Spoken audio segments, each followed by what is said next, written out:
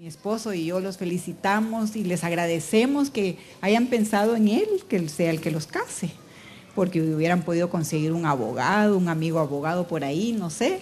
Y sin embargo ustedes escogieron que él los casara. Así que para nosotros es un gran privilegio que ustedes hayan pensado en nosotros.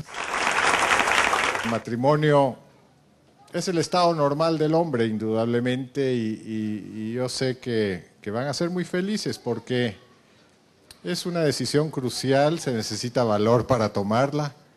El matrimonio, indudablemente, que es la opción que ustedes han escogido, es volver a retomar el camino sobre los fueros del orden y de la cordura.